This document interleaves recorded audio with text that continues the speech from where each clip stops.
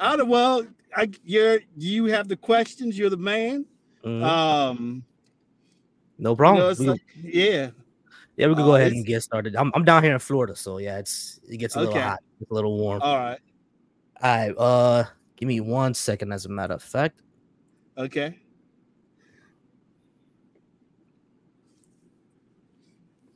there we go. We can display our names and we can go ahead and get started. Awesome.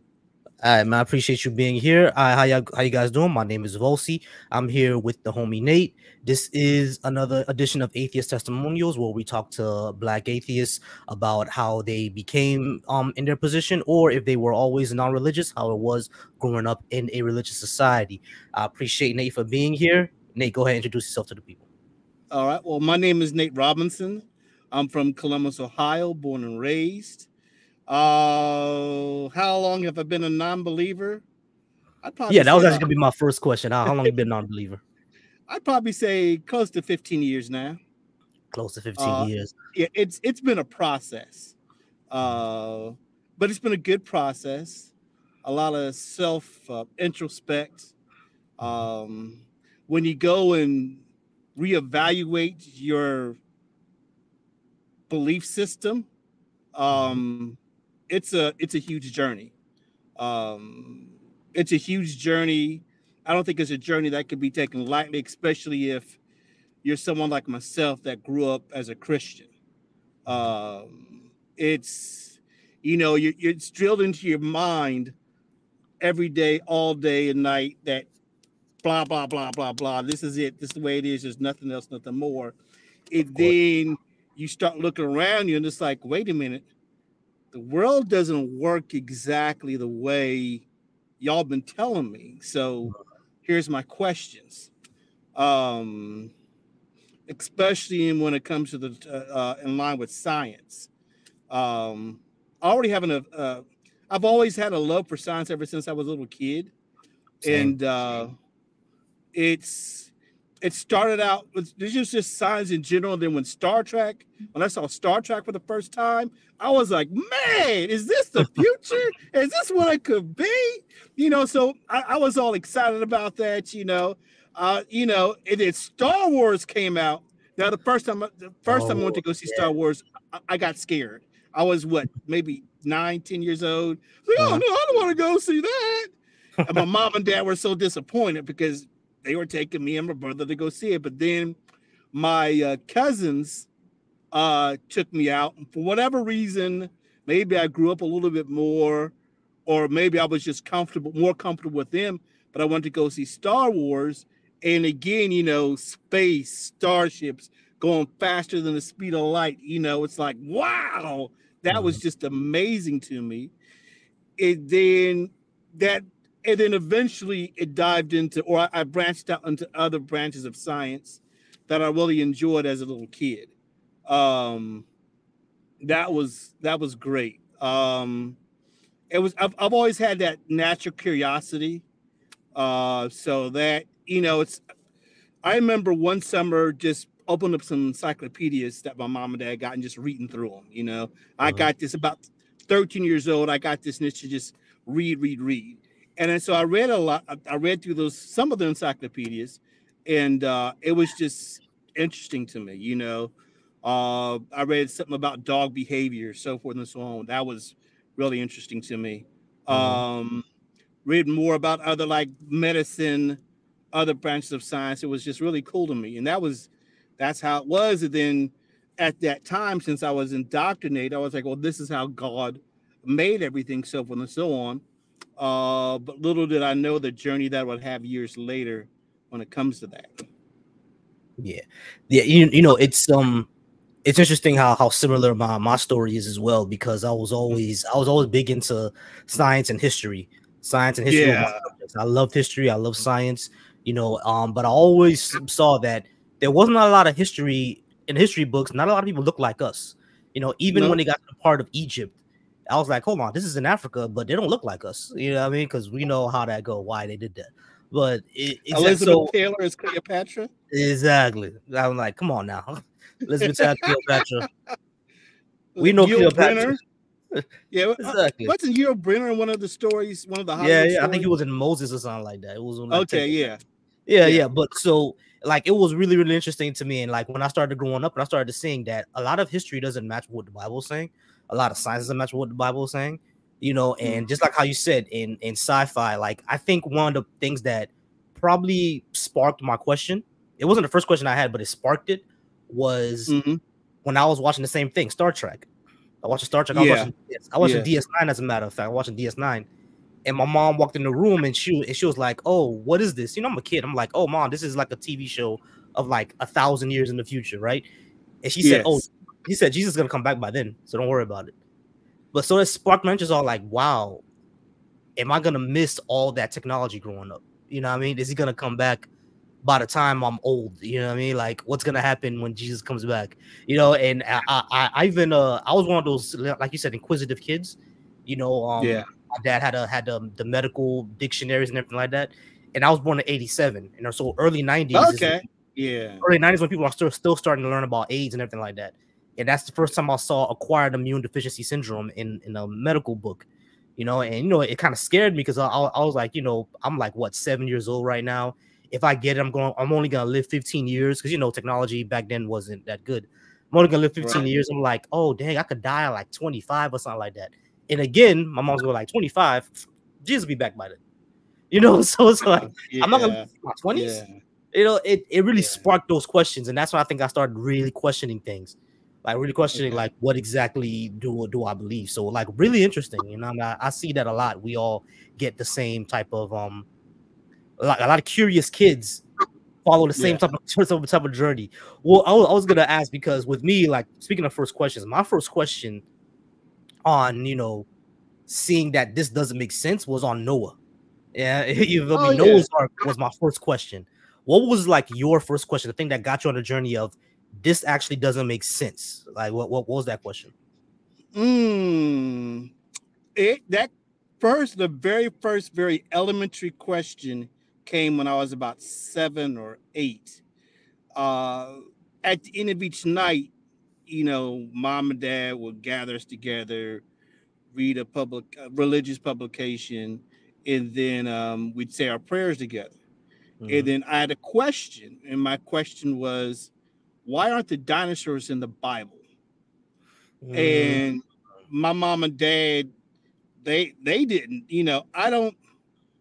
Well, I've, obviously at seven, I didn't know how key of a question that was, and they mm-hmm. had no clue. And I'm going to give credit to my mom and dad where they just said, "I don't know," yeah. because I because with even as a little kid, you you're learning in school, you're learning about the fossil evidence when it comes to dinosaurs, you know, and all the different types of dinosaurs. So that's a major signpost of, of life on Earth. So why is an absent? Why is that? In my mind, why is that absent from the in Bible? The Bible. Uh-huh. Mm-hmm. That was that was the first question. And even when I branched that question out to others, nobody really had an answer. And that right. that kind of had me a myth because God's supposed to have all the answers. All the answers. That's what I was taught. That's, That's right. Was, you know, and and um is you know what's crazy about that? Because your first question was about dinosaurs, right? My first yeah. question was about Noah and what happened to the dinosaurs. Because I was oh, like, okay. I was like, Ma, did well, I asked my dad actually, I was like, Pop, did the dinosaurs fit on the ark? Because like yeah. look at I was I had my I had my whole book and everything. I was like, Poppy, look at this thing. You know, he's he's a big ferocious monster. How's that gonna fit on the ark? Yeah. right, so, right. That was exactly. yeah. Yeah, that was that, that was, was my Oh yeah. One of the things when it came to the Noah story, when I was a little kid, uh, because I was born in the, in the late 60s and raised in the 70s and 80s, uh, is I'm trying to, oh, okay, I just had it now, I just lost it. But anyway, yeah, one of my big things about the Noah story was how the earth was going to be repopulated.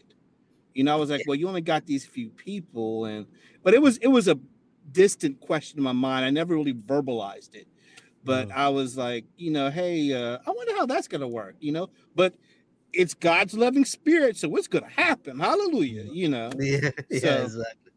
You know, and, and was... I, I, just want to say for some for someone who grew up in the 70s and the 80s and born in late 60s, like I already thought you was around my age, bro. Black really don't crack. Black really don't crack. Thank you, thank you. So if, if this is what I, got to look forward to, right here. Yeah, yeah, yeah. Oh yeah, he's the evil twin. He's the evil twin. Uh, okay. well, I'll, I'll tell what I thought. Well, a lot of people in my family they have the they live for a long time. My uh, dad's 97 years old right now. Ah, uh, yeah. Yeah, my grandmother, she lived to be 99. I saw a picture of my great great grandfather. At the time the picture was taken, he was uh, um, 106 years old and was telling wow. his life story about being a slave. So that was oh, that wow. was interesting. And what else I'm finding interesting is like every other man in my generation is like really religious. My dad's really religious.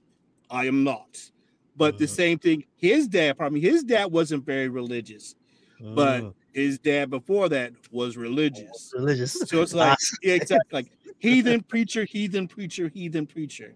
Yeah. So you, you hit uh, heathen, so that means probably your son will be the, the, the uh, yeah, yeah, yeah, yeah, exactly, exactly. So that's it's funny how that works out. You, you know, and, and it's really interesting to to hear those things from uh from you know your parents and grandparents because I think um my my dad's dad because on my grandma's on my, my my dad's mom she was um a voodoo practitioner because she grew okay. up under like um like the Duvalier regime and un- before oh, that she grew up in a, in a time in Haiti where like black nationalism was a big thing so people were yes. not following certain certain religions you know you feel what I'm saying and they thought that they thought that Christianity was a white religion so they stopped following it so they grew up during that time so my dad my my granddad was a voodoo practitioner and my grandma were voodoo practitioners but my dad wasn't and now I'm a heathen again. So what's gonna happen yeah. with my it's what was gonna happen with my son. But yeah, my my granddad was born in uh, the 1920s, so he actually grew up under the occupation of. Oh, of, he grew up under that. Yeah, so yeah, that's he, that's interesting. Yeah, he saw um, that. My dad told me he was part of the protests and everything. It was it's pretty cool.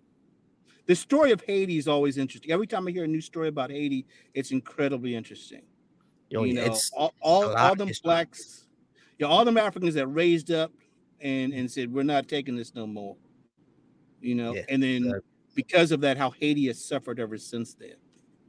Yeah, that's that's the thing. They always say that. It's it it's a it's a sad story because like um propaganda works Christian propaganda works very, very well because even if I go into black churches and if the subject comes up, they will always say, "Oh, you know, Haiti just needs God again," because they turned away from him when they made the deal with the devil. You know what I mean? Yeah. I will hear that a lot in black churches. I'm like, what do you mean by that? What, what where did you hear that from? You know, and it right. was like, oh, you know, during during the the revolts and everything like that. And I was like, okay, so are you saying it was better for us to be slaves then? like, I don't, I don't be yeah, getting I've, what I'm saying. I've heard that response before, and every time I hear it, I'm like, what? Yeah, I, I don't get that. I don't get that at all. Now, as far as my religious, as far as my religious upbringing, mm-hmm. um, I was uh, born as a Jehovah's Witness. Oh wow! And, uh, yeah, yeah. So it was a kind of a strict upbringing, but mm-hmm. my parents were compared to other witness parents. My parents were uh, a little bit more liberal. Mm-hmm. Um, but you know, at one point, yeah, I was when I was a, a, kid, I was made to go up and knock on doors, and I hated that. I mean, I thought I was gonna run into because for me it was a lot of shame that was involved. I didn't feel like going up and knocking on somebody's door about their religion, you know. Even at that early, t- right? I, even at the early time, I'm like, I don't. Why do I want to do that? I'm, I'm what, what for what? Um, but neither did my mom. So growing up, my mom, however she did it, she stayed home on Saturday mornings. So uh-huh. and then me and my brother were watching cartoons, and my dad he was going out knocking on doors and so forth and so on. Um, but with them, I, I could go on and on with stories about the JWs. Um, yes, they're strict. Yes, you know, looking back in retrospect, Yeah, they're a cult. Mhm. Um, they try to cut you off from family and friends. Uh, I never got baptized, though I had seriously considered it. Um, they tried to make them, the organization, the center of your life. Right. And looking back in retrospect, it's like that's not how we people work. Mhm. You know, I don't care if you're introverted or not. You know, we all have all these other little social groups that we're in, be them official or unofficial social social groups. Mhm. Um, I to me, it was even as a little kid, it was never a good fit for me. I always felt uncomfortable with it. Mhm. There's a lot of don'ts, but not enough do's. Uh, my more or less rebellion with them started it started kind of like in the preteens because there were a couple kids that I used to play with across the street. And then one day my dad trying to get me to associate with other Jehovah's Witness kids said, Well, why are you associating with them? They're wicked and they're going to be destroyed in Armageddon. Mhm. And I was like, but they're good people. You know, there were Right. times where um the oldest boy that I uh, there was like what three, three or four siblings, and two of the sons were closer to me and my brother's age. And there were times where if there were like was a neighborhood bully around, they would stand up to that bully, especially if they were older than me, and said, Hey, you're not gonna mess with uh Nathan over here. Uh they they were just good people Mhm. parents were good people and at that time it was hard for me to reconcile how are they good people and my mother's excuse was um well we don't know what's going on in their house. Well the police are never over there. You know Yeah. you don't yeah you don't hear any big ruckus going over there. You you see the mother making sure that their kids mind their manners and so forth and so on. So that i had a hard time reconciling that. Um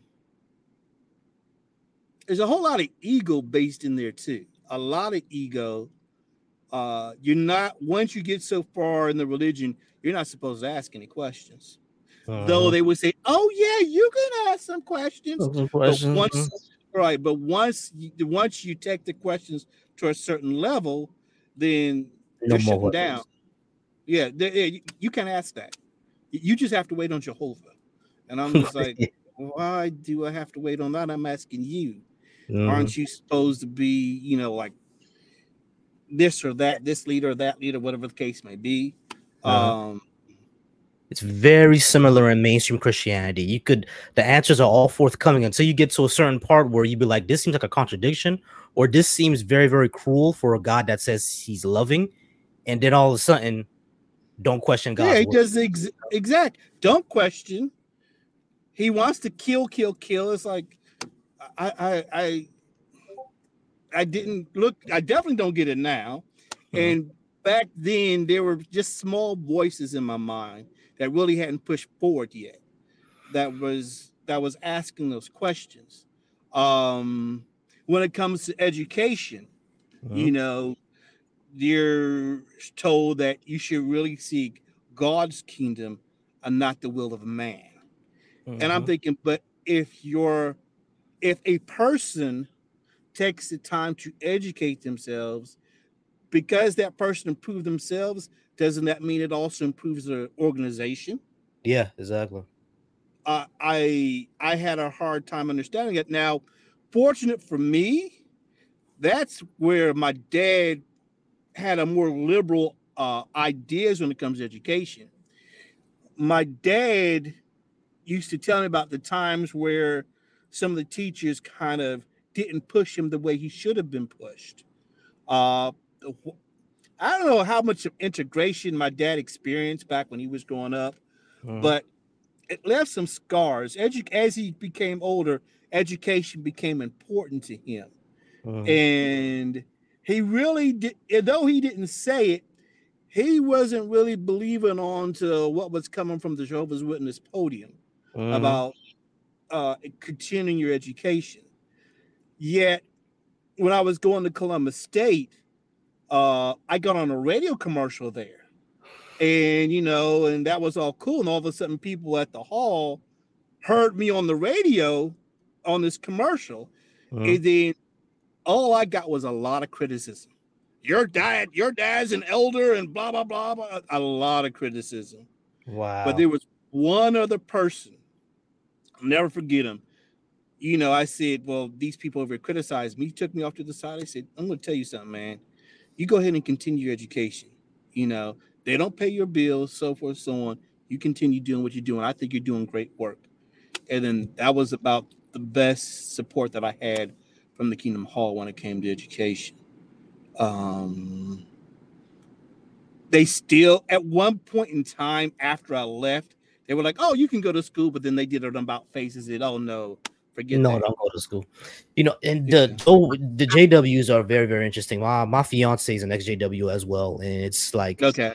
She, she, yeah, she, she, she told me all the time. She was like, yeah, it's very, very cult like, you know. And there, mm-hmm. there was a time when the, the kingdom halls were were segregated, but then desegregation happened, yeah. and yeah. but you know, you still have to go to the same kingdom hall with the people who would have probably lynched you 10, 10 years ago. So it's it's really right. it's a really interesting dynamic because it's, it's like you can still feel the because she said her kingdom hall was like that, you know, like it was the the olden days people were still there and are you know there are elders and their elders it's it was uh, you know yeah that, one of those things def- are that definitely happens mm-hmm. um and it, it's weird because there's this constant preaching about love your brother, love your sister, love, love, love. But yet, when you look back at the history of the JWs, mm-hmm. it's questionable when it comes to their thoughts on race. And then when you look at their leadership today, their governing body, as they call it, this is a worldwide religion that's almost on every continent. Yet it's mostly European white men that are on the governing body and one black guy. That's it.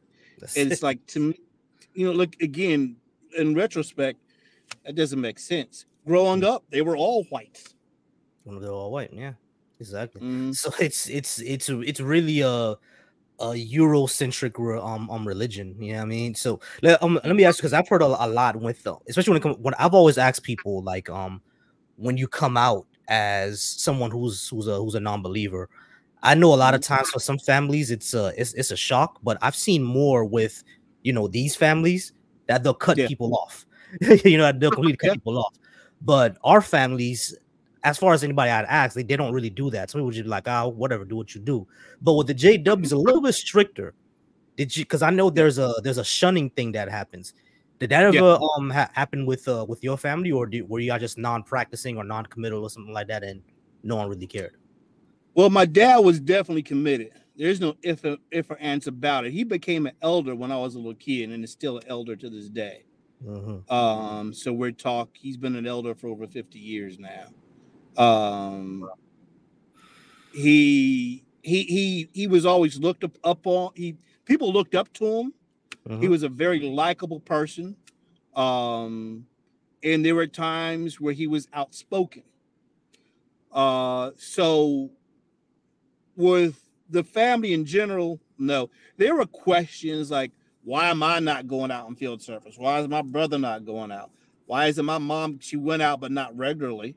Mm-hmm. But uh, there was one time they did a shepherding call on the family where a couple of elders came over to visit the family to gauge the the health of our spirituality. Wow. And I remember my mom just came out and said, I don't like going out in field service. And no, and they didn't say nada, no. not a thing.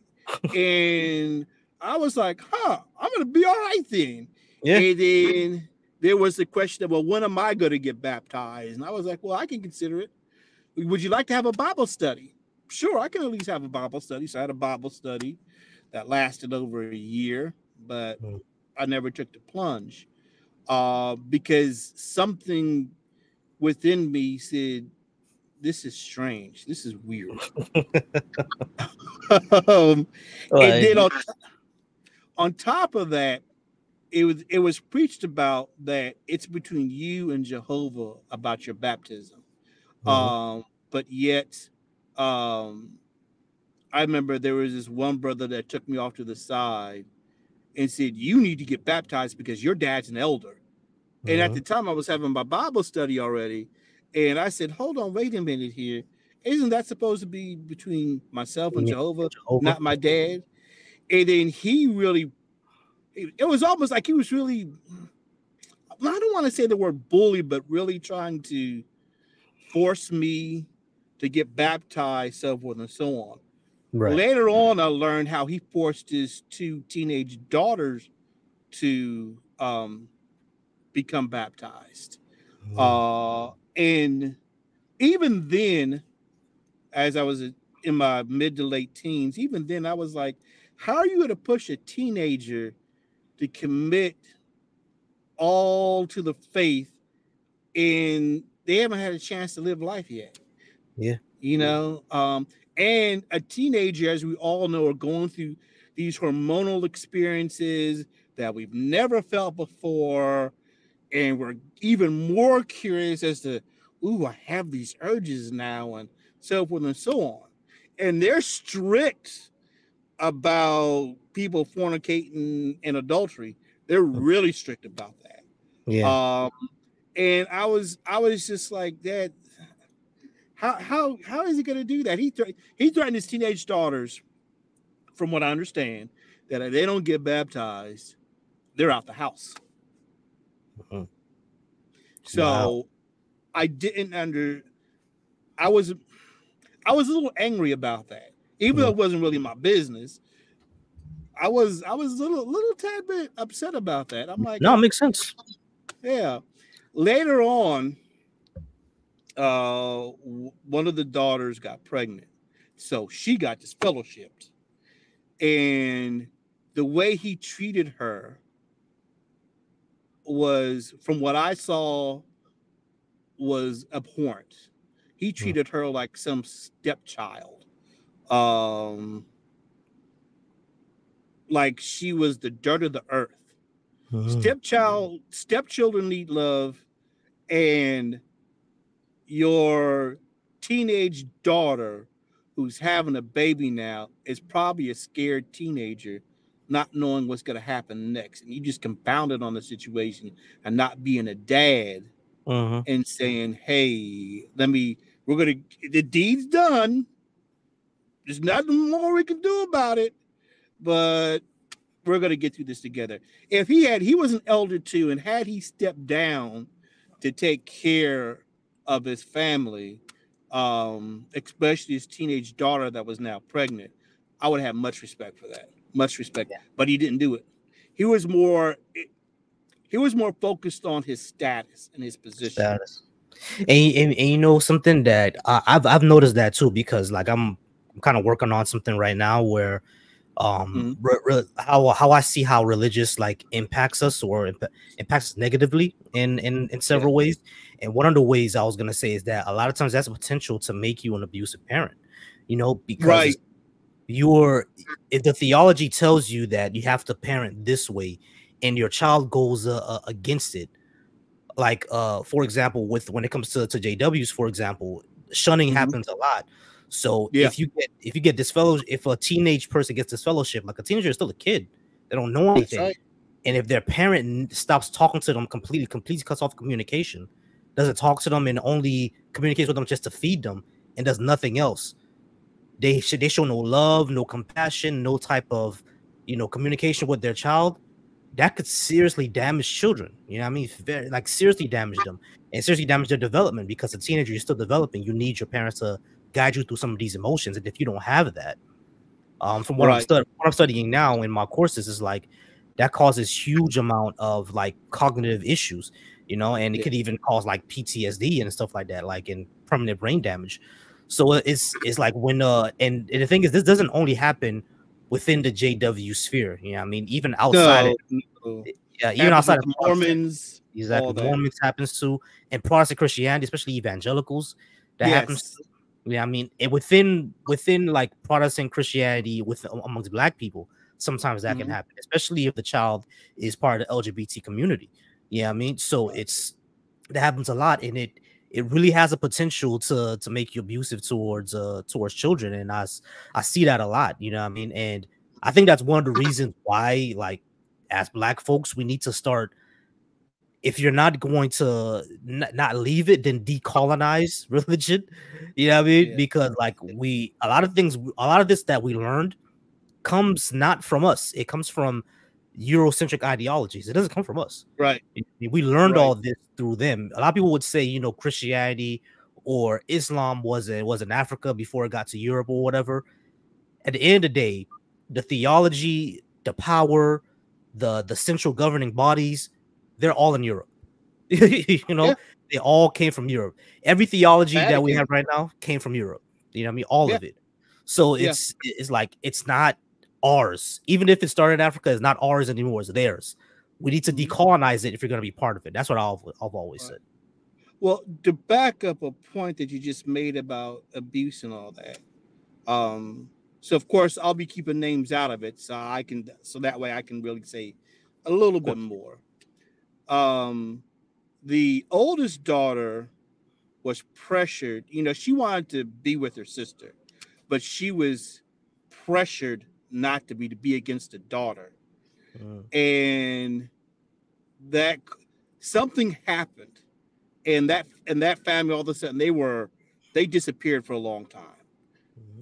but what i found out uh, is that possibly the oldest girl uh, attempted suicide mm. and um, i had now i had a brief conversation with her years ago and she she only told me just a tiny bit.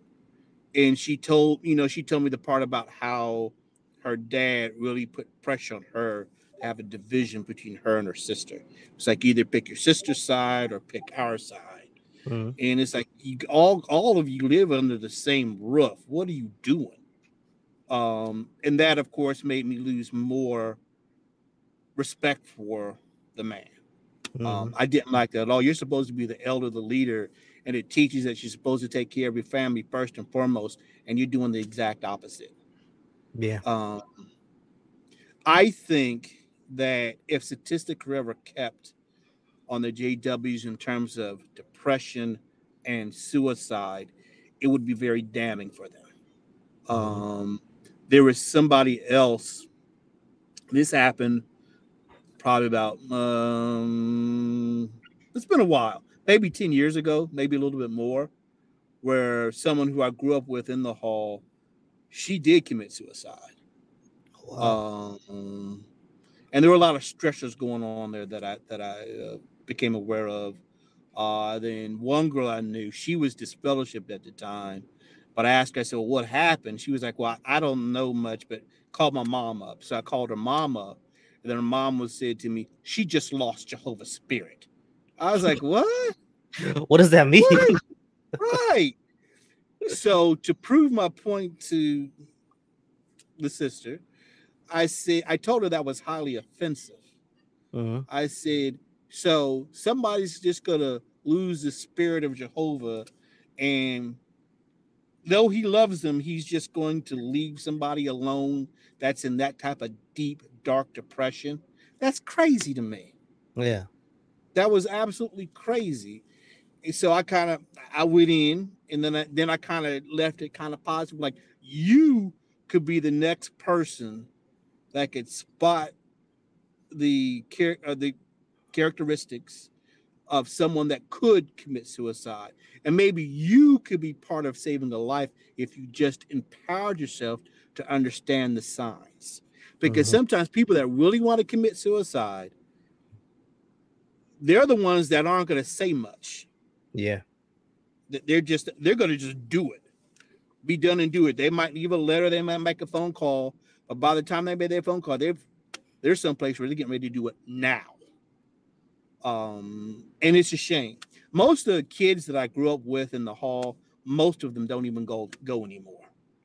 Yeah, um, yeah. religion is on a massive decline. Yeah, I mean because it's it's yeah. like they when I was when I was first on social media because you know I grew up uh, I became a young adult during a time when social media became a thing. You know, I mean, I graduated yeah. high school in 2005, so and Facebook came out in 2004. You know, so it's like I, I and you know, and then YouTube came out 2006.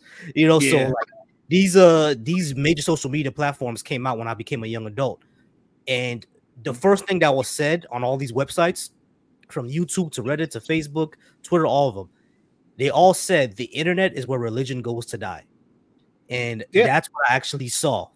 you know, that I've, I've actually experienced that because I was like, the first time I was actually able to speak to other people who weren't of my same ideology or, or weren't of my same religion, they were actually able to show me, you know, all these flaws that I noticed, but I put in the back of my head. But then it showed me more flaws that I didn't see before. You know, and yeah. it's it it really is true. It's where religion goes to die. And with the young people right now, with Ooh. you know everything being right here, everything is literally right there. Yeah, it's gonna. It's interesting that you say that because today I think it was on this channel or another channel that you may know of. I forget the name of the channel now, but I'm pretty sure it was uh, something along this one where these young folks are having these atheists were having conversations with uh, Christians mm-hmm. about religion and so forth. And it was amazing to hear everybody talk and the knowledge that was there. That mm-hmm. was that was just amazing. You know, they're going, well, these stories are were actually inspired by this other story over here, so forth and so on. They were very good with their with the information that they had. Mm-hmm. Very good. And in my opinion, the Christians really didn't have much to stand on because I think they didn't understand rules of evidence. They certainly didn't understand how uh, DNA works and all that good stuff. Mm-hmm. Um, they did. They didn't know any of the stories about saviors and stuff like that that predate Christianity. Um, yeah. they and but the atheists they were on it. They even had a Satanist in there too. I was like, mm-hmm. whoa, okay, yeah, all right. That, that probably was this channel, yeah, I mean, because uh, that that that's what, what, what we do over on TikTok. We we host yeah. panel debates and everything like that, and we get we get Christians to talking to each other, and you, you know it's uh it's uh it, it gets deep, it gets uh it gets really really interesting. I have some on my own channel. I was gonna upload as well of my okay. own um, debate that, that that I do, my own panel, my own discussion, and that's what we that's what that's what I like to do. I like to discuss with people and ask them what they believe and why and give me a good reason to see what why they believe it. Yeah, you, know, you know. So um and, and, we need more more discussions like that. We do. And it's and like, like to borrow from kind of a celebrity uh I forget his name, and he's on the Breakfast Club. He was like, I prefer a conversation over confrontation. I used to confront people a lot though, but that's yeah, all because yeah. of my yeah, that was all because of my JW upbringing. I just mm-hmm. kind of followed some of it just followed me into my journey into atheism. Mm-hmm. Um, but now yeah, it's like now, yeah. You see, with me, I was very, very confrontational, and I think it's because like I went through like an angry atheist stage, you know, yeah. because I felt yep. lied to. You know, I felt yeah. lied to, so it's like I was upset. I was upset at yep. everybody, but um, I was able to to get over that, and just like how you said, have more conversations than a huge confrontation. Now, I don't mind confrontation. I don't look for smoke, but I ain't ducking it though. no, know? I ain't ducking it. Nah, I ain't ducking I, it. I don't look for it, but I ain't ducking it. Having those discussions are, are very intriguing. I think what's more interesting is not the destination, but the journey on how they got to their destination. That's interesting to me. That's gold. Yeah. Um, and that's it's it's I think it's rewarding to, to have those type of conversations. Um, when I left the JWs, I was more or less, if you left the JWs back when I left, or as I faded out, as they call it, which was back in the uh, early 90s, you're kind of like on your own. Sure, you'd run into people here and there, you'd have conversations, but before the internet, you know, you were on your own, reading books, so forth and so on, going to the library, whatever the case may be. Um, and then um, when I started talking to other people about faith and all, you know, I remember I talked to a friend of mine about sin, and she was like, Well, maybe sin isn't really sin. Maybe it's this or that. Sometimes it's just all in how you look at it. I forget her exact words to me, but it felt very empowering to me.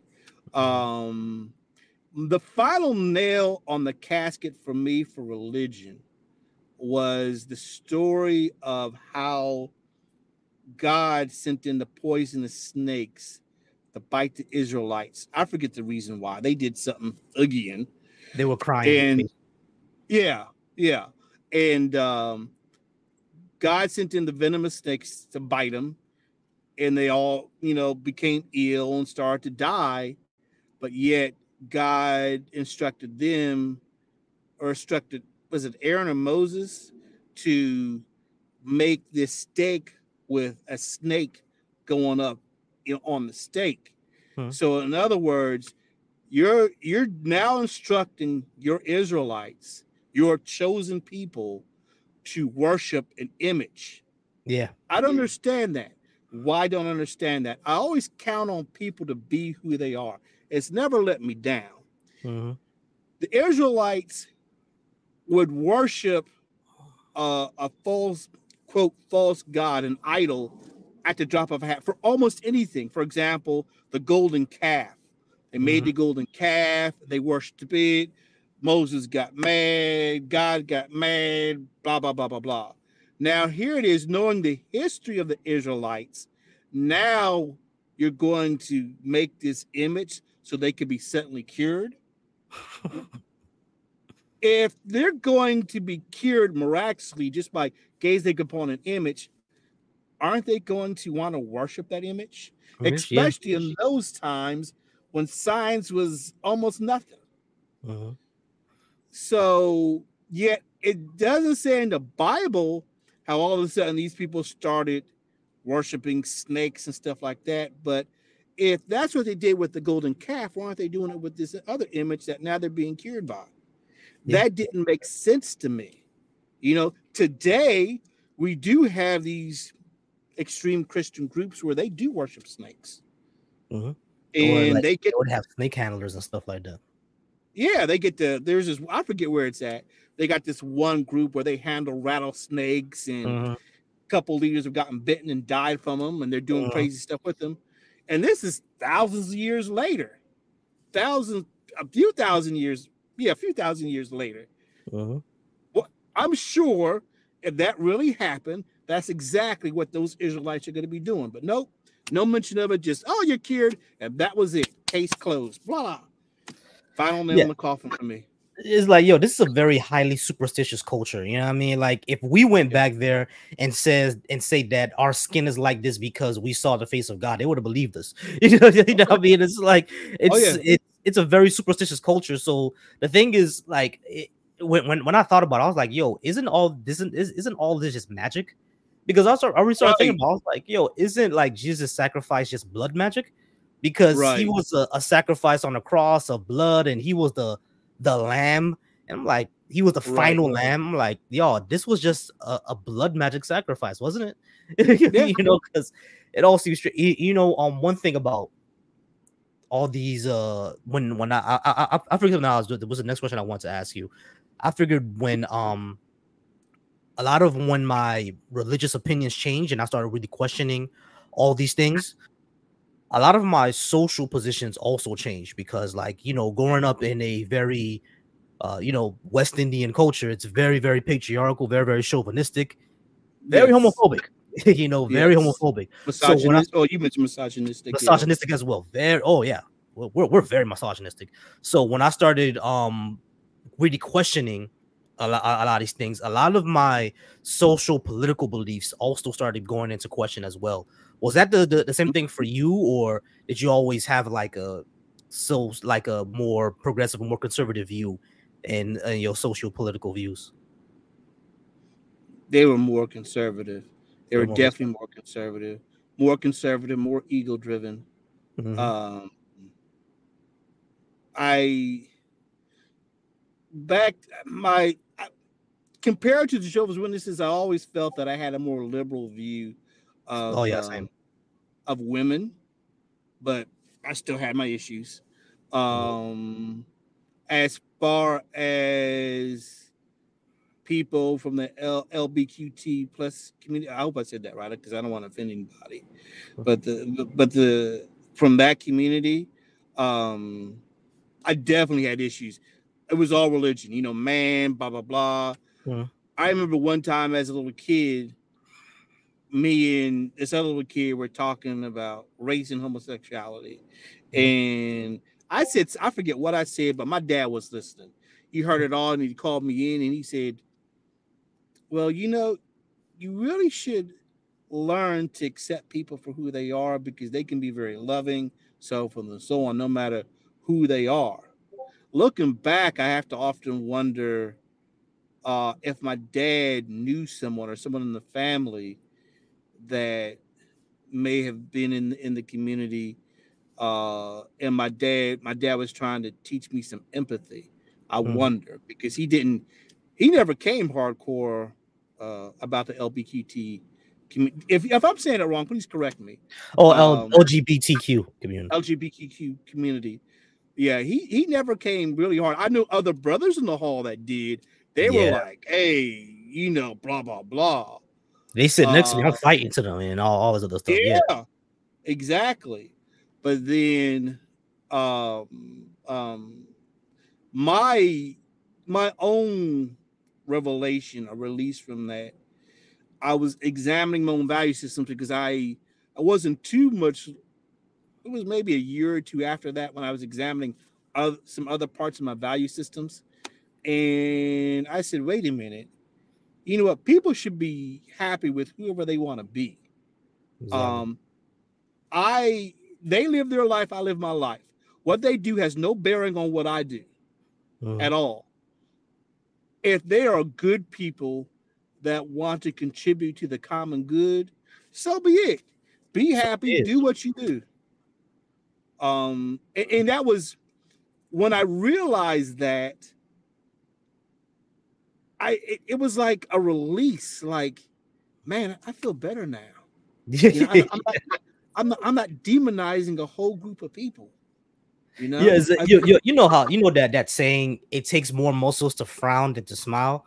Like it's Yeah. it's really true because you hold all that stuff in, and it's like, yo, I was holding all this tension in for these people, and once I let it go, I'm like, well, I, I feel I feel way better. Like there's there's there, there's you know reason to feel tension for for those people anymore, and it's like it's when I look back on, it, I was like, I wow, I, I really believed in ridiculous things about these people for no reason.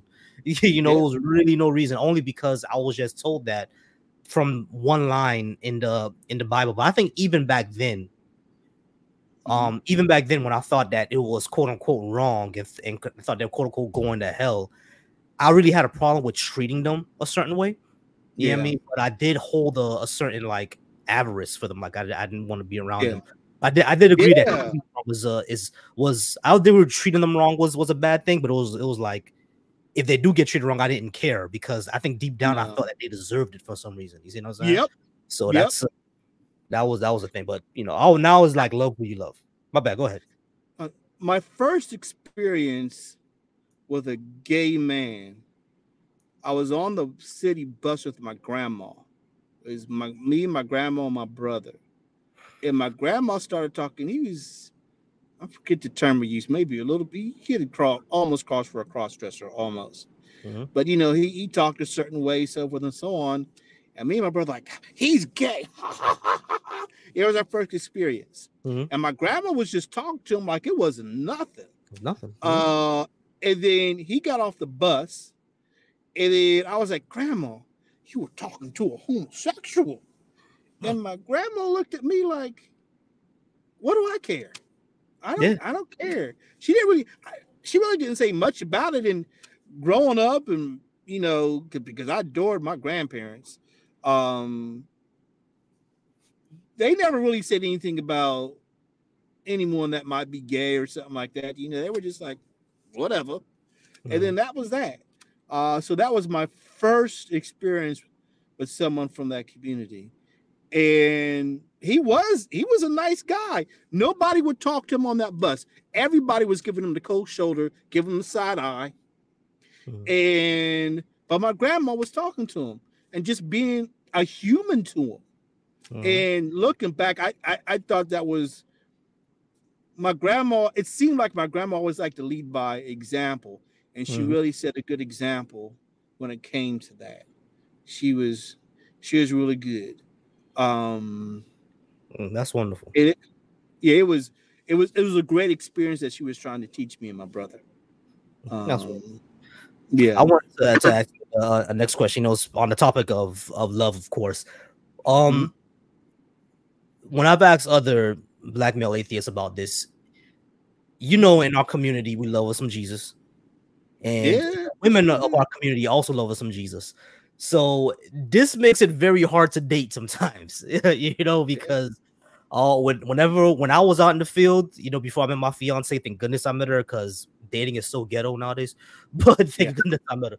But like, oh god, it's bad. But when uh, I was on the field, a lot of issues that I want to run into is like either within the relationship, it will become a problem when they find out that I am, I'm not, I'm not a believer, or so what I started was I just started telling them outright before we start. But then I'll get to the point where I'll, I'll hear, oh, you know, well, we can't do anything serious, but come over every Saturday or after church on Sunday, you know, and it starts to make me feel used, you know, because like at the end, I'm a human. I want long time compatibility, you know, that's that's what I want for my life one day. But but they want the meats. Yeah, exactly. They just want the meat. so I'll rather run into that problem or I'll run into the problem that I call booty gospel, where they would oh, try yeah. to convince me to go into the church by, you know, just giving it up for me on Saturdays and inviting me on Sunday. You know what I mean? But when you invite me on Sun on Sunday, you're wearing some skin tight jeans to church and some heels. Hmm.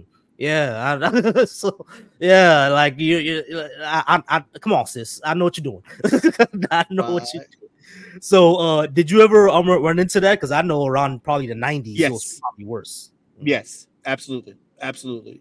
Um, there's uh, exactly how you described it. That's exactly what I've experienced. Mm. Um, you know, oh, you got to come to church with me, so forth and so on. And especially as I started to move more toward non-belief, mm-hmm. you know, it's like, ooh, you're.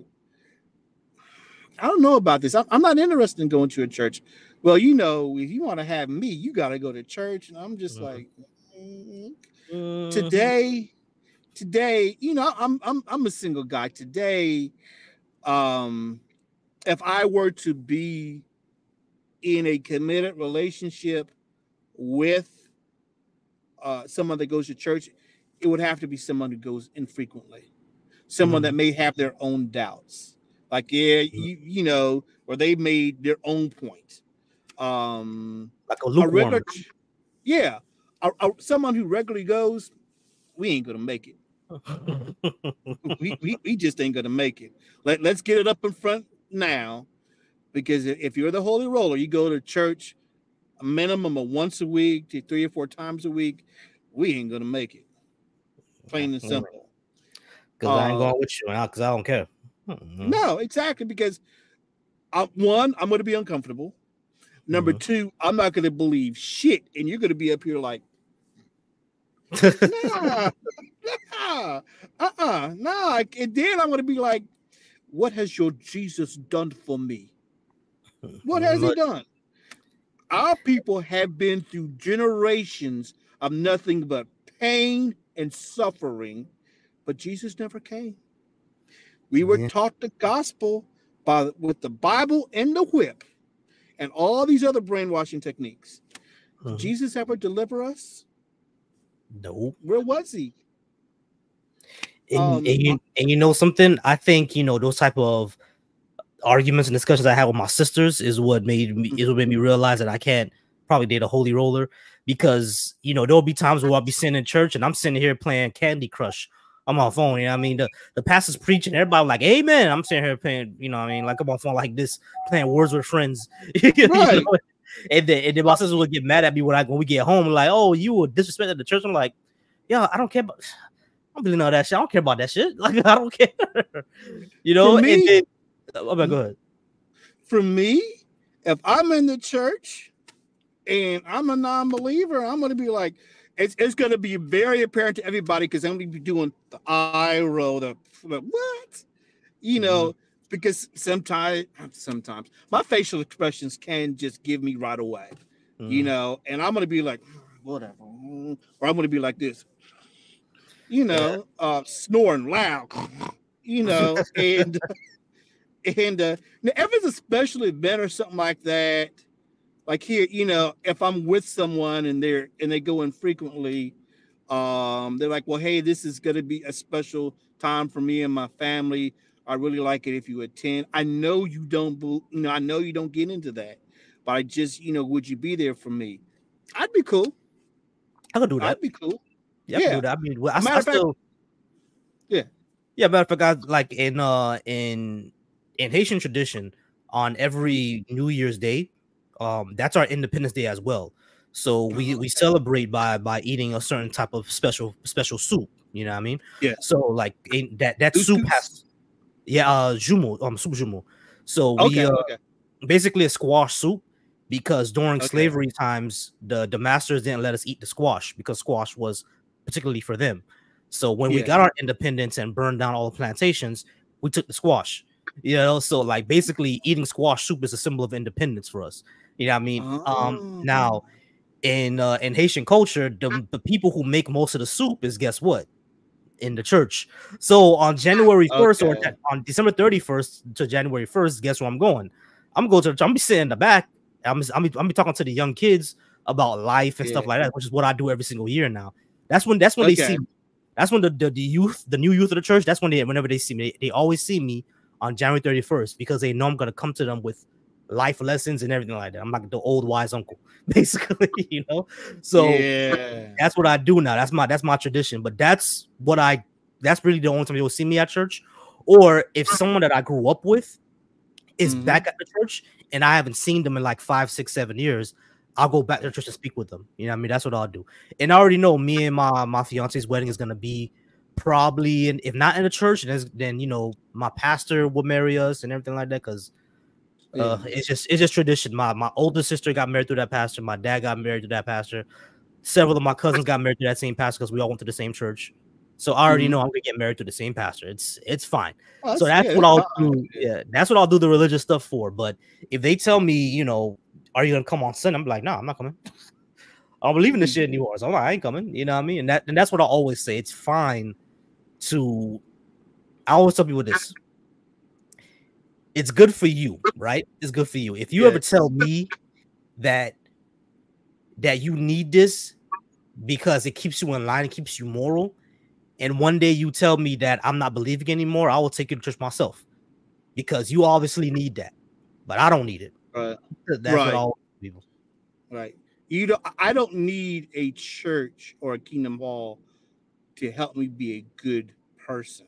Mhm. I, I, I just don't I one of the ways that I can be or how I can find myself to be a good person, science and understanding how existence works.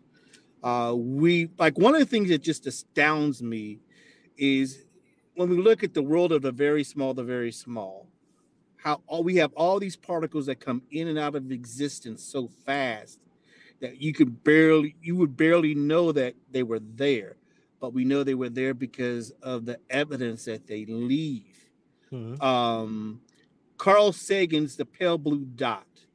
Uh Love that folks if ex- oh my goodness folks that aren't familiar with that google it. It is amazing because when you see this one pale blue dot hung upon the background of the universe and you read that quote by carl sagan for me that is a very humbling experience we live on this little rock formation Mhm. in the universe and we're incredibly insignificant compared to the universe sure we can might do a couple neat tricks and so forth and pat ourselves on the backboard, but compared to the universe We are we tiny. ain't shit.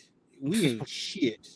When you look at when you compare our earth to the size of the other planets or to the size of the sun and understand that 99% of the matter that's in our solar system is made up of the sun. But yet when you fir- when you uh, journey further out into the universe you have stars that would dwarf our own stars like betelgeuse Beatles, uh, yeah. it's it's it's amazing to me to learn why be animals behave the way they do uh, how light is emitted into this car and how the, the the the light protons that came here, it took to leave the surface of the sun, it took eight minutes. And Mhm. to understand the distances of eight minutes, the sun is roughly what 93 million on average, 93 million miles away from us. Just about. Yet, yet, yet light. If I were to emit light to you in some kind of a way, it's going to get there almost instantaneously. Mhm. But to say that light takes eight minutes to get there, and then we go further out, the closest solar system to us, I believe, is four light years away. Four light years away. Mhm. Exactly. To imagine, to try to imagine the distance that that covers, it's mind blowing. my it's completely mind blowing. And and the thing is, I was really into I was really into space science as a kid. I was still into space science a lot. And when I Mhm. realized just how distant things are, I was like, "Yo, Voyager One is the fa- is the is the farthest thing to us right now. That's right. It it technically still has not left our solar system. Technically, it hasn't hit the Kuiper Belt yet. Because Well, after no, the it's- interstellar medium, right? No, it's it's left. It's now officially left. Mhm. Both of them now have now officially left. I forget the date that they left. Around the 70s. First, oh no, no, they. It was just a few years ago that they both left the solar system. Right, right, right. Um, but yes, you're right. They they they were launched in the late '70s. I remember that. Mhm. Oh man, I remember that because it got, it got on television, you know, and they. I remember watching the clock news, Walter Cronkite, uh, and we're seeing this and we're like, hey, this these ships are going to give us information about our our nearest neighbors, the the Saturn and Jupiter. Huh. And there was a big to do. Then the mid 80s came, and then Voyager 1 and Voyager 2 got to their destinations. We started getting back all this information. Like at that time, it was thought that Saturn only had three rings, and they were major rings, big rings. Mhm. Now that the Voyager have gotten there, now we know that Jupiter has thousands upon thousands of rings, if, if I remember correctly. But they have all these different rings. And it's incredible to me.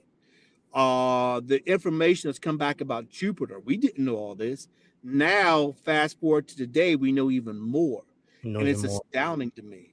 It's astounding me. And to think that someday, who's coming up behind me? Someday, all their sightseeing. Someday, uh, I don't know if it'll happen in our lifetime. I would love it if it would, but we could actually journey to these planets to observe them. I think that would be incredible. That would be Yeah. amazing. they're actually planning that the the the Europa Clipper is going to go to one of the moons of Yes. Jupiter, and I don't think it's going to land, but it's going to examine. It's going to actually actually like you know orbit it, orbit Europa, and um, I think a, few years after that they're going to land one to see if they can get through the ice, through the through the Right. yeah. Yeah, I I- heard about that program too. Yeah. it's gonna happen in 2035, I, I think, and that that'll be that'll be incredible because if we can actually um confirm that there's life on Europa, that would be amazing. We will know that there's life other than us, even if it's if even if it's like crab or just a bacteria. You know, what I mean, if it's a bacteria or a crab, there's life outside of us. you know what I mean? Right. Now it's confirmed. things. Now it's confirmed. That would change so many things about about the way that we think about life. You know what I mean? Now we know. Now we will know like confirmation, case proof that water, yes, water is a necessary component of life, at least liquid, at least some sort of Yeah. liquid is a necessary component of uh, of life, and it doesn't have to be warm or lightning or anything like that. We can you can form it in you know heating heated heated vents. That would be amazing. Uh, I will I would love to see that. I think we're gonna go Yes. to Titan. You know, one of one of Okay. Saturn's Titan. I think we're gonna go there in like Yes. 2050. I'm probably gonna be an old ass man by that time. I'm probably gonna be like in my 60s or 70s by 2050. You know, so I'm gonna do my do- best to be there too. hey, you know what? With uh, with medical technology the way it was going nowadays, they said and with medical technology nowadays, um, our generation is gonna live to see 150. We're gonna see 150. Right. You know what I mean? So the way medical technology is going nowadays, you'll probably see it. Because I want to see the I year 2100. I want to see it. Back in the 90s, we knew that was gonna happen because I remember when Clinton came on TV and said, Hey, we're making these amazing discoveries, and kids that are born now will probably live to be 150 to 200 years old. Hmm. Uh, but I think that medical science will progress even faster than what it is today. And it's going to be amazing with AI coming, with quantum computing coming. There are going to be a lot of great discoveries that are going to be that are going to be made that can help us. But I'll mention this: we do want to be concerned about who can afford to have these procedures. If we are to take seriously the doctor's Hippocratic oath, we need to have discussions about how we're going to disseminate these new technologies to help what cures us. I I personally I don't want to see where where we have something where only the rich can have access to. Why? We hmm. could have we could be helping the next great scientist or the person with the next great idea to be cured then and society can reap the immense rewards from that. Unfortunately, there are some circles that may feel that, oh, no, no, we're going to be selective. You know, more of the, be it that it's um, social economic, race, so forth, so on. We really need to have these discussions now because it's coming.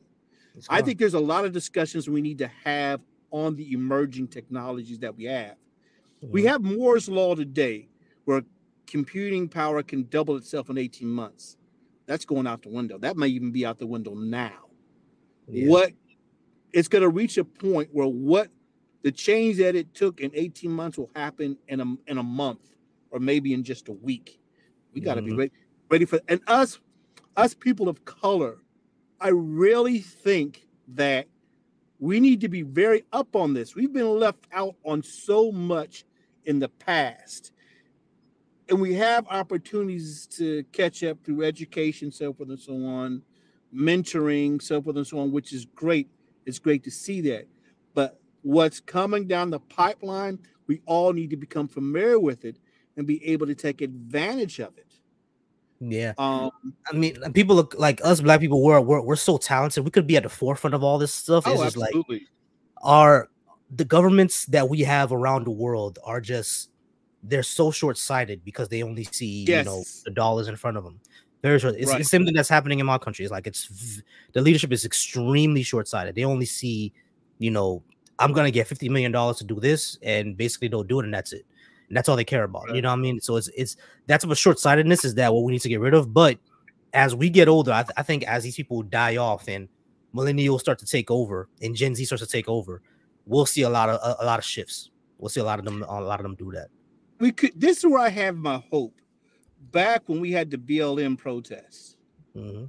and you know, I drive for Uber on the side, uh, and I'm picking up these white kids that went to go protest. What I heard, come, it wasn't just like what we saw back in the 60s, you know, or the 50s, where there's like a sprinkle of allies. I mean, I'm picking up a bunch of white kids, and they are articulating to me why they are protesting. I never seen anything like that, much less Columbus.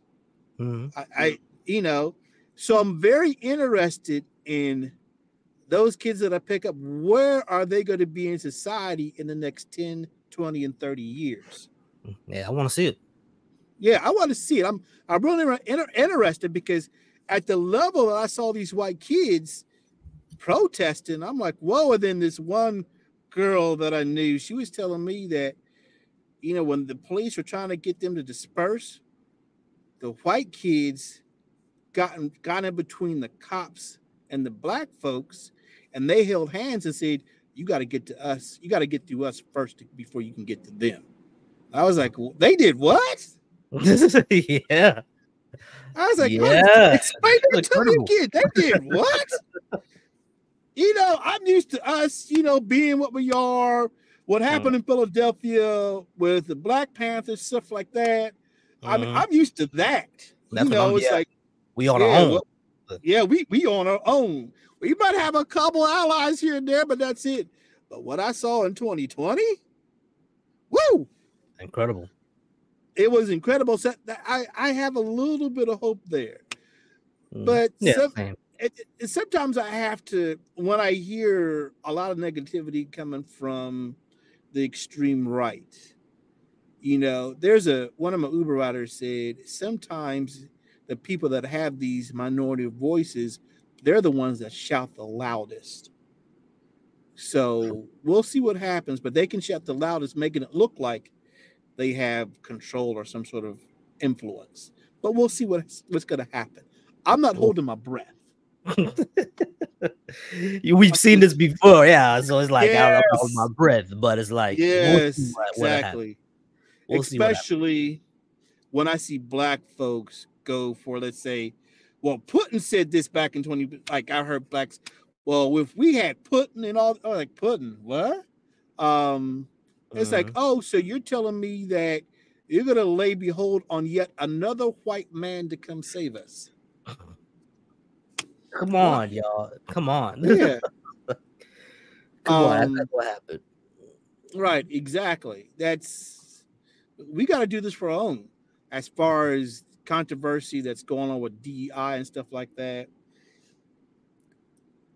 it is. I think it's important that we do our homework on DEI so we know it full, you know, know it backwards and forwards, because I've seen us kind of fall prey to that nationalist idea that black folks can't do shit, that we're mm-hmm. lazy, we're incompetent, so forth and so on. No, prove when we can articulate the better point on why their ideas are just damaging all the way around, we have to make better arguments because they're going to be here for a while. Problems aren't going away.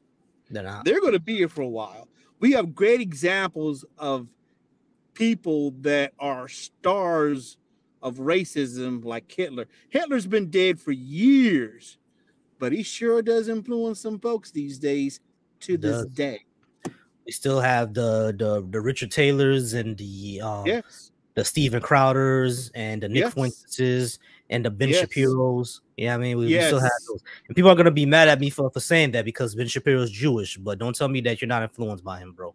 like it's, it's, right, oh, right. You, you, have the same type of ideology. The only don't the only thing that you could I'm not even gonna get into that because it's, it's, it's racial politics, but it is. And Ben Shapiro is he's good at it because it's he will offer this argument where they'll be yeah he, he that's right that's right but he'll slip in like this half truth or an assumption and make it appear like a fact he's he's real good at that he's real a good, good. I found.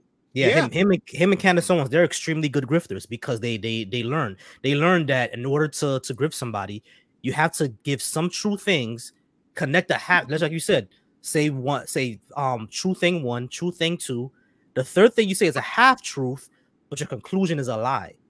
But because right. you said two true things, you already primed your audience to thinking that your conclusion is true, and it's not. Right. You know. I recently, I, I, recently saw that interview of Candace Owens had on the Breakfast Club, mm-hmm. and it was an interesting interview. I'm like, she has a point here, point there. You know, I, I want to hear out. I don't want to hear somebody's what they think it is. I want to hear it for myself and make my own call on it. And I'm like, oh, she makes a good points here and there, but at the same, there were some questions that they didn't really ask in that interview. Uh, they rose up some, some, a couple hard questions for, uh, but I, I would have, I would have gone a little bit more hardcore on her. No, you know, still kept a conversational tone because I, you, you, because it was a conversational tone, they drew a lot out of her, a mm. lot out of her. But you know, now you ask him harder questions. Yeah, um, yeah, that's exactly what I would have. Done. I would ask for some some way harder questions. I would have asked the same question T.I. asked her. When was America great for Black people? Yeah, I mean, you can't right. rename the time. The only thing, the only thing you can do is do a rigmarole of, oh, after this happened and we were getting better. Nah, the question is, when was America good for Black people? If you're gonna say that it's now, you need to explain how. Yeah, I mean, so it's it's like it's because it's not good now. We still have issues with police brutality. We still have issues with yes. red line. We still have issues with um, yes. um, discrimination all throughout employment and the health system. So how is it good? You know, you know what I mean? Like it's one that's that's the question I've always asked a black person who's who's black and MAGA. when was America good for black people? Right. Always. Yeah, I mean, because it wasn't good before the 60s, it wasn't good after the 60s. You know, and it's not Right. good now. So Now, we've made some. Yeah, I think we've made some progress, but there's a whole lot more progress we need to make. Exactly. Uh, Rick, I remember in my Uber uh, adventures, uh, especially around 2020, I picked up a lot of um, underwriters, home underwriters. These are white folks. We're just having a conversation. You know, I told them how one time I got into real estate, you know, doing a little flip here and there, renting, and um, um, they told me right out. They said, Nate, be careful because redlining is still going on and it's still going on here in the north, here in Ohio, here in Columbus. It still goes on. It so definitely to- still goes on. Yeah, it definitely still goes on. Um, so we have to be mindful of that and, and know if we're gonna get into real estate stuff like that, know your business. So that Yeah. way you can quickly identify if somebody's bullshitting you. Exactly. Um, and in my opinion, I think we should learn to study as many economic systems as we can. We know the failings of capitalism. Um, what are we going to do to take? Nothing's going to be given to us. It, it never will. They may make some friendly gestures, but nothing's going to ever be just given to us You we have to, t- yeah, you, you got to take it. And then once, once they start to see that after you've taken it and you have something worthy, then you'll have a better chance. Mhm. Um, you're still going to encounter some bullshit, but now, now they know you mean business, and um, they're when they know you mean business, they, they have to look at you differently. They they can't look at you the same old way. Though, oh, we're gonna shuck and jive this Negro over here. Mhm. Um, Yeah, right. we know, know your business. Um, and and that, and that's challenging, but life in itself is challenging. So, Mhm. you know, we've never, none of us have ever been given a stamp like this is gonna be easy as shit and go for it. You're gonna do it. No, it's hard for anybody, and it becomes, and you have more obstacles. Be you a person of color? It's there Exactly. it happens. Um, this is where going back to my own family on my dad's side, I had my great grandpa. He um, he owned his own farm. He owned his own general store. Come to find out, we're finding out that he was a prominent man of his time. So much of a prominence that they actually named a state park after him in Tennessee. Mm. which is which impre- which is impressive to me but how much bullshit did he have to face you know to get to the prominence that he did get to? We're still learning more about him but i I think that's interesting uh looking back on on my own family. Um but i, I it's to me it's it's important. How does money work? How did we learn how money works in our capitalist society how money works in other societies what works best, so forth and so on. I, I think that's I think it's important that that we learn all that. But Yeah, some people may say that's that's they'll say that's boring. So forth. I, I get if you I get if you say it's boring. I, I get you on that, but at least understand the basics. You know, so That's that- what I say all the time because, like, I I, I studied on um, politics when I was in college, and I always Okay. tell people when I because I was I was like I was always a science, politics, and history person. I, I love those subjects, but I've always told mm-hmm. people I understand that politics and government can be boring. It can be very very boring, but Yeah. know something about it because it affects everything right. you do. If you That's don't right. know anything, yeah, if you don't know anything about it, someone else will be deciding for you, and they do know about it, and they know exactly how it'll damage you. You know, so That's you right. about it. And, and and the thing is that that I've noticed a lot about when it comes to the to the um to black politics in in America, a lot of the grassroots, unfortunately, well, not not I wouldn't even say the grassroots. The grassroots no, the grassroots no. But I'm talking about like the online activism, people who speak out online a lot. They don't know how this shit works. I mean, they have no Right. clue how it works. And those that do are not the conservatives like Candace, Candace Owens. The conservatives like Candace Owens just know how to grift. The conservatives like Right. Brandon Tatum, they just know how to how to how to tap dance. That's all they know right. how to do. They know how to grip and tap dance. If you look at like like um the black people who uh who are conservative, they don't mm-hmm. actually know how government works. They just they just tap dance and know how to grift. But the people, right. the black people who do know how government works, they're usually progressive, almost all yes. the time progressive. Yes, yeah, because they they know what to do. You feel me? And they and they if they want to help their people out, they'll know exactly what to do to other people out. They know that it all comes down to policy. It doesn't come down to saying oh, all this rhetoric of you know stop listening to Cardi B and Sexyy Red. It doesn't come down to that. It doesn't come down to saying oh Philando Castile shouldn't have reached for something. It doesn't come down to that. That's not gonna help us.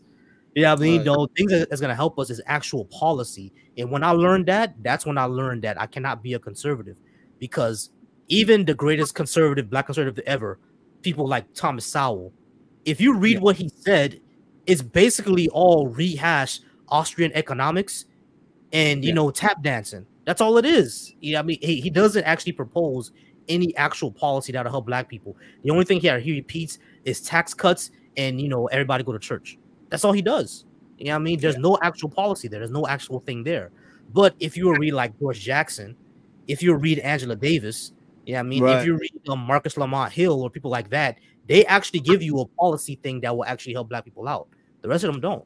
You know I mean, I, am sorry to go ahead I'm on rant. I was just, I, was, I kind of love. No, no, no. You're good. You're good. You're good. Sorry, I kind of love I'm hoping that this will be one of the conversations that can help inspire people to first understand what's going on and then act upon it. Exactly. Um, because we can easily get pushed out the way.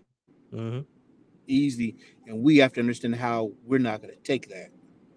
You know, um,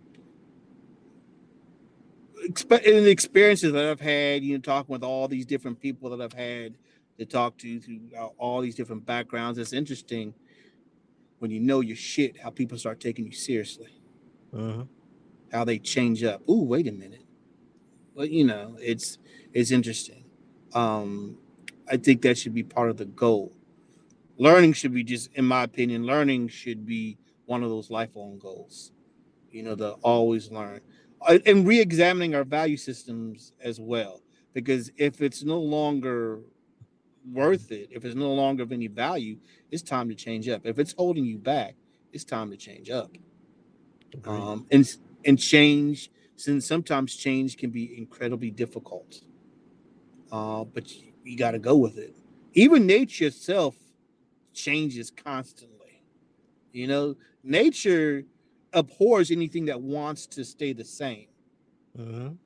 So, like nature, we have to be able to adapt. And as as I become older, especially with my day job, uh, I notice a lot of people that are older that don't adapt or just can't adapt. And then when certain realities hit, they're like, "Oh my God, what am I going to do?" And it's like, what you should have done was kept an open mind. And yeah. as as I become older, I have a hard time understanding why other older, much older folks didn't understand that change is a constant. You know it. All the changes you've seen in your life, and now you want to just be stuck on this one thing. It, it does you more harm than good, and you don't even realize that. So I think if you're going to cultivate more of a youthful attitude, which I think is good, that's mentally healthy, which can turn into physically healthy too. Uh-huh but they, they keep that sense of wonderment of being astounded you know that helps keep you going and you got to keep on pushing and pushing and pushing. Um will racism ever be totally eradicated? Nope. But i'm all for if they want to go and talk about how racist they are go for it. I i, I don't want them to stop because i want to know who i'm dealing with. Yeah. You know? Yeah I agree but with for, that. yep. But for those that are looking to change your value systems when it comes to race, or those are like, no, I think you have as much to contribute as I do. Yeah, let's let's ride with them. True. Um, gotcha. but these other folks, mm, let them go to hell. yeah. Go to hell. yeah, yeah, let them go to hell. Um, but it's it's life itself is interesting. becoming a non-believer, it opened my eyes up to a lot of different things. Uh, it also helped me to be more empathetic to people, even though I did have my bout of being that that mad new non-believer. Because I even had my hotep phase. I yeah, I when I first ran into Umar Johnson, I had a little bit of hotep oh. phase. So. Yeah, when I first ran into him, I was like, I, I, haven't seen a black person speak like that since since MLK. So it was like I had a hotep face, you know. Umar, uh, yeah. these days when I look at Umar, uh, he's he's he's hilarious. At, the, at the, he should just be a comedian. tell you the truth. At, at this point in time, I think he's doing it on purpose. you know, I mean, at this point in time, I really think he's just doing he's, it on purpose because he knows he's a meme and he knows it's gonna get him money, so he's just doing it on purpose. Right, right, exactly, exactly. Because he's wanting to build this school forever, but now more people have been more mm. critical of him. Like, dude, uh, LeBron James has his goal on now. Where's yours? Mm-hmm. Um, pardon me, he's a joke. Yeah. He's a joke, but he wants he, he he's in for the entertainment. I think a new term that I think many of us should entertain is political entertainment. When prime time comes on and CNN is doing their thing and Fox News is doing their thing, I think you really have to look at that as political entertainment. because yeah. these yeah, because these folks are looking to gaslight, to say some of the most craziest things. That's what they want to do. And we have to understand that that's nothing but political entertainment. If you want to become more knowledgeable, um, you gotta you gotta open up a book. Um, you know, yeah, they won't teach go to nothing. Google. Yeah, exactly. And and the um, thing is, I, like, I, I get that as entertainment, but like, I I've, I realized over the past probably 10, 15 years, news entertainment can be and political entertainment can be very, very dangerous because yes. while j- just like how we said, like because things like politics and news, um, it's implied that they're informing you of something. If you make entertainment out of it, you don't really have to inform people. You just have to either make them laugh, make them angry, or get some sort of emotion out of them. And you can do that easily through lies, very, very easily. Yes. So it's it's like I mean, rap is entertaining, but I don't believe all these rappers are actually shooting people. I don't I don't believe they're not doing that. You know what I mean? I don't believe these rappers are um I don't believe these these female rappers are out here just flashing their coochie to the world. They're not doing that. Yeah, I mean, but it's very, very entertaining because it, it gives an image in our head. It makes people want to get up and dance. You know what I mean? It, it's very, very raunchy. Right. So like it it makes it it does all that, but it's entertainment. We know they're not doing that for real. But if you put that into, into the realm of politics, and it's implied within politics that these are things that can actually happen mm-hmm. it's a mm-hmm. big problem because now you're saying that this leader of this state or this politician who leads these constituents or this group of people yeah i mean are this certain type of way even though mm-hmm. it's supposed to be for entertainment you rile a bunch of people up with a whole bunch of lies that they think is real you know yeah. so and and that's the that's the issue that i've always had with political entertainment, sports entertainment, like you know, like um WWF. I, I, I still love it. I mean, I, I still love W. I'm, I'm gonna start watching it again. You and Sean. You and Sean. Yeah, yeah. I haven't seen it in uh, years. Yeah, I haven't yeah, seen it in years. Yeah. I want to watch it again. You know what I mean? But it's like I, were, I, I knew that Stone Cold Steve Austin and The Rock were acting. I knew they were just acting. You know what I mean? I didn't think that they were actually they went backstage and actually fought each other. They didn't do that. Right. you know, so they're, they're all just acting. They would break character. Sometimes mm-hmm. break character. You'd see and they'll go, be laughing. Yeah, yeah. yeah. they'll break character. So it's uh-huh. it's like you know it's it's it it's all it's all for our entertainment, but it's fun, you know. But yeah. like things like politics is not supposed to be just for fun. It's supposed to be like something informative, you know. And that's supposed the word. To be. Supposed. I remember, I remember being a little kid and turning on the news because that was that was you know we'd have dinner together as a family, and we turn the news on. Dad would turn the news on. Mm-hmm six o'clock, there was Walter Cronkite reading the news, then you made up your own mind. Uh, mm-hmm. 60 minutes.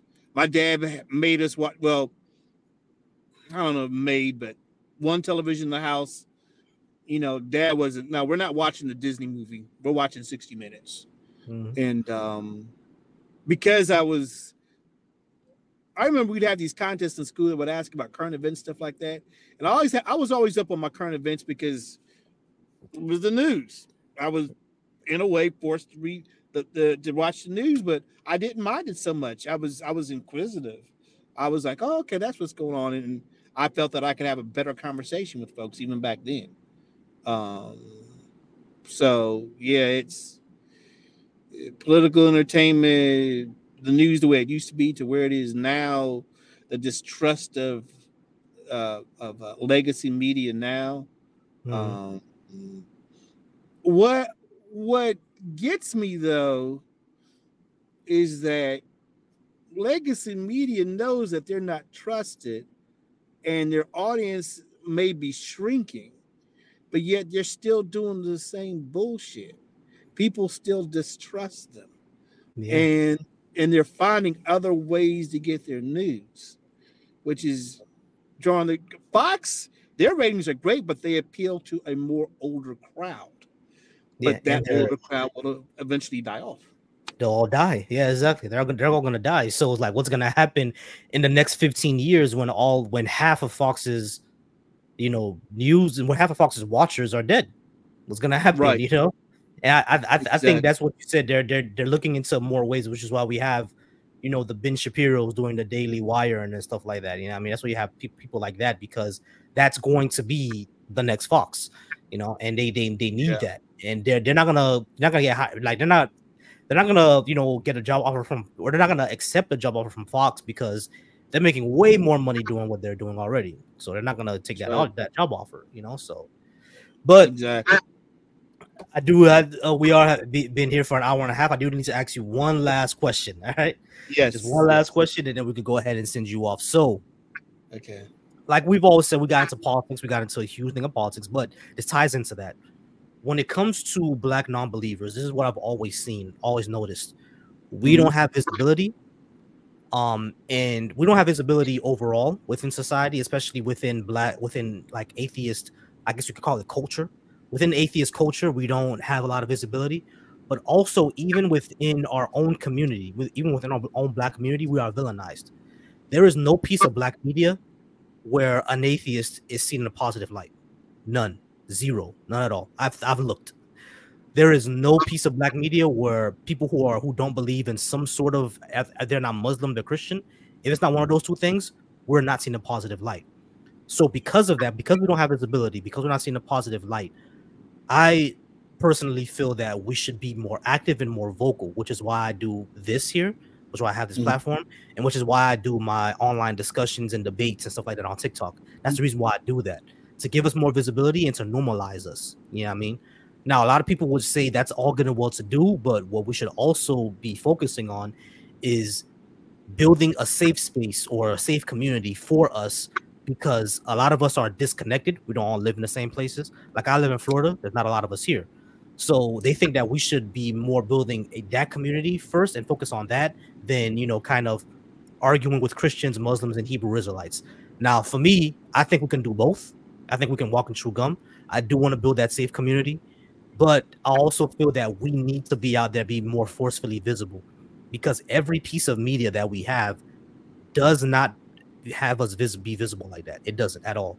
Like even you know platforms like the Shade Room and Spiritual World, they're ran by Christians, but even they have Happy Ramadan.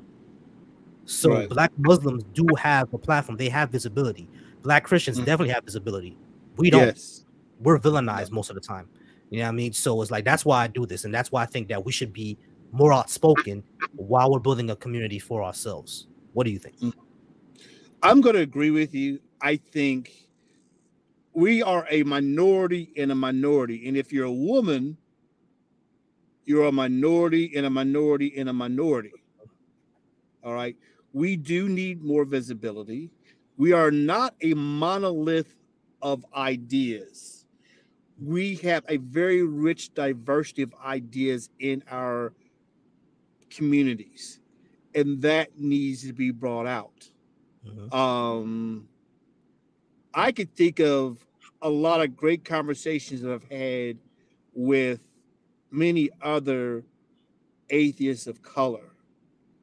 Uh, and it, it's been, though I may not agree with them, I'm so happy that we've had this conversation because mm-hmm. now I've had the opportunity to understand them better.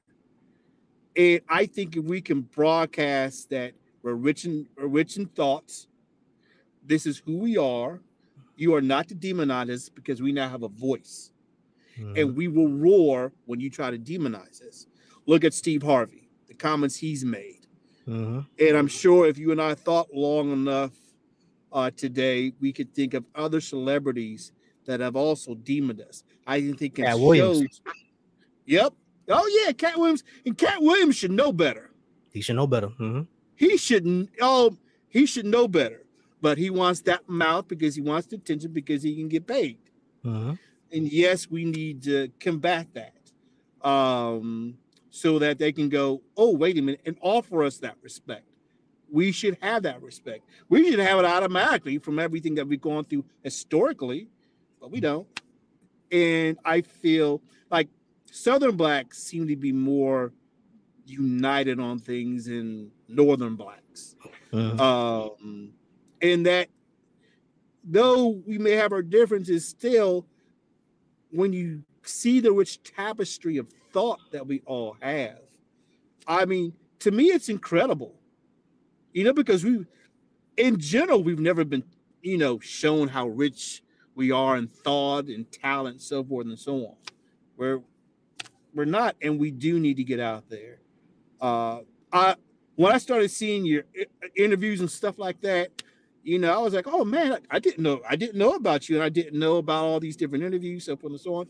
So when I listened to the different interviews, and I was like, wow, these this is really nice getting home. Some of the people I knew, some of the people I de- I didn't know, and it was really fulfilling to hear these other people finally talk Instead mm-hmm. of just reading what they may say, it's like now, now I'm get to hear them talk. Mm-hmm. I you get to see their energy, so forth and so on. And it's to me, it's a re- really rewarding experience with what you're doing because I haven't really seen somebody do it at the level that you do it. I've seen attempts for it, mm-hmm. but I haven't seen it done at the level that you're aiming for, your goal. Um, it will be nice to see you interview more people it will be nice to see us as a more organized group because white folks, the non-believing white folks, they definitely got it all over the place. They got it. Mm-hmm. They got it. You know, and mm-hmm. we we do have a few. We have black non-believers, but stuff in mm-hmm. there gets messy. Yeah, you know what I mean. So it's yeah, like, yeah. You know, and I already know if, if this gets bigger one day, I'm going to have to interview Mandisa Thomas one day. I, I, I know that, and that's might be a doozy. you know, because I got questions. It will be. Yeah. But so. you know what? You know what I'm I'm really curious about? Mm-hmm. 50 to 100 years from now, if these series of interviews are dug up, how will we be viewed then after we've mm-hmm. accomplished what we've accomplished in our lifetimes? Right. I'm really curious about that. I would love to see us rediscovered another 50, 100 years. Maybe we will have what what that goal is a more organized, a, a, much more bigger organized group. I think it's I think I'm I'm more encouraged that it is going to happen because more people of color are leaving the church or yeah. they're going very infrequently because they have questions. I mean, they're still in doctrine, but they have some good questions. They do. You know, um, it's interesting, especially women, because statistically, there are more women in the church. Men mm-hmm. are more like, mm, yeah. and they have their different reasons. Yeah, they're different. Uh, but to see the women, to see women wake up and discover new information and say, wait a minute, this doesn't work like I've been taught. That's it. That's interesting to see. Yeah. Because yeah, definitely want to see that. Yeah, because some some of the strongest religious figures in my family have been women. Um, and you see them come away from that. Sure, there's all different ideas about why why there are so many more women in the church. That's a whole other conversation, of course. Mm-hmm. Um, but to see them come out of those psychological restraints is is going to be more interesting as time goes on, and because they're they're going to have better they're going definitely going to develop even better reasons why they're leaving. I think with each successive generation, better arguments are given for the reason why we don't believe. Um, yeah. and that's oh, interesting. Always, man. But they, I really do appreciate you for um for being here. You let you let me go on on my whole political rant, and I appreciate you. Yeah, sure um. Last thing, if you have any, you know, uh, platforms or business or social media or anything like that, go ahead and promote it now, and I'll make sure that I put it into the description. I mean, there's some things I have percolated in the pot. I mean, I do have I'm on FB group, um, along with others like Heather, Tamiko, um, um, Jai, uh, uh, one other person. I'm sorry, I forgot her name, uh, but she's a quiet person. She's very inter- introverted. Mm-hmm. Uh, we have our own group. It's called uh, the Eclipse, uh, the Black Godless Experience.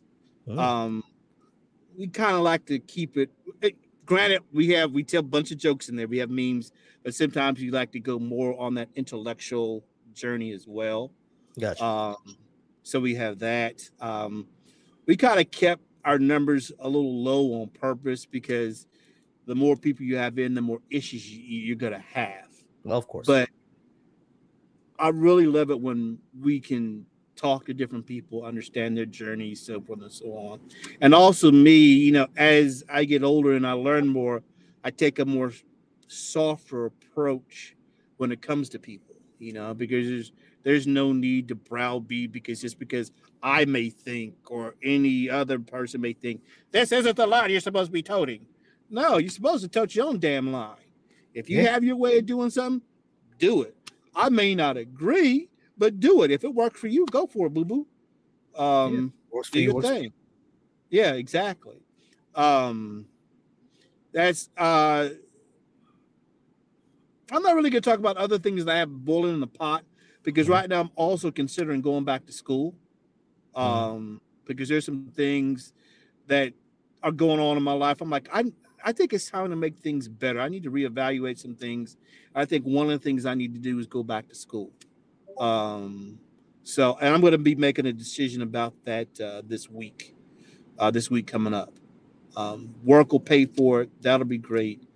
Um, so, and at the same time, because of my upbringing, and they don't believe in education, it's more of a ha ha ha. I do. Look what I can do. What look what I've done for myself. Look what I've done for others. So I'll just I'll just broadcast that Facebook group. Um, there are a lot of other Facebook groups out there that I like. Um, I like, uh, for example, um, Black Atheists. I think it's one of the largest uh, atheist groups on Facebook. Uh-huh. But I also don't want to restrict myself to just Facebook. I want to, I've, you know, there's some stuff that I've seen and been involved in on Discord. Um, I think I want to jump in to see what's going on on Reddit too. Uh-huh. So you know, stuff like that. Um, yeah. so that's what that's later on I'll I'll do other things, but I, there's things I'm just percolating right now. Gotcha. And I have a Discord as well, and I'll put that into into the description of this. Oh, comment. nice. Oh, but, that's awesome. Yeah, that's awesome. I'm going to check it out then. No problem. All right, Nate, man. I, I do appreciate you. We're gonna go ahead and get out of here. And uh, it was great talking to you. This will be Great released in about two Sundays from now. All right. Two Sundays, awesome. Well, you got my number. If you ever want to hit me up, whatever, I'll hit you up. You know, because now I know you, and yeah. I'm real happy to see. I'm real happy to see what you're doing, man. I mean, that's that, that's really encouraging. I love I love it, man. No problem, man. I appreciate you, bro, and you have a great one. Great one. All right. You too. Take care. That's a good.